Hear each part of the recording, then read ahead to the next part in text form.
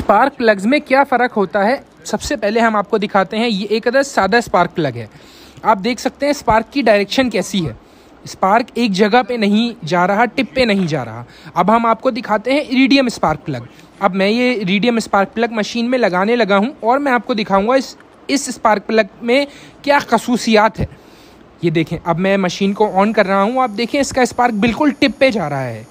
अच्छा इससे भी एक बेस्ट क्वालिटी का स्पार्क प्लग होता है, जिसको हम लेज़र स्पार्क प्लग कहते हैं लेज़र इरीडियम स्पार्क प्लग अब हम लेज़र इरीडियम स्पार्क प्लग को डब्बे से निकाल के लगाते हैं मशीन में और आपको लेज़र इरीडियम स्पार्क प्लग का स्पार्क दिखाते हैं।